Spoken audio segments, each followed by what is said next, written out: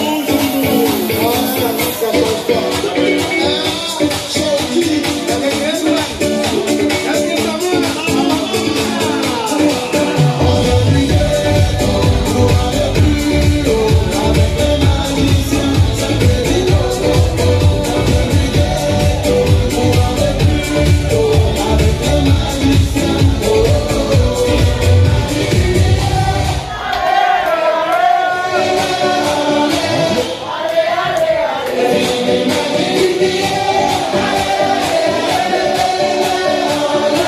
Impossível.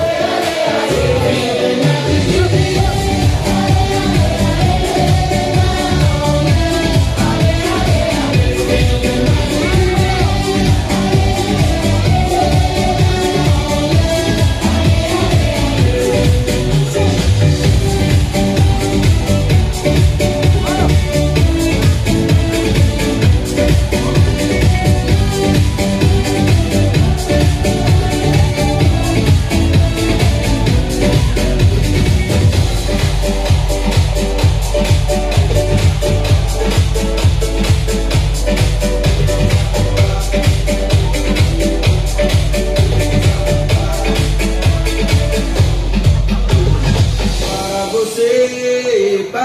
você, vem dançar. Para você, para você, vem dançar. Para você, para você, vem dançar. Para você, para você, vem dançar.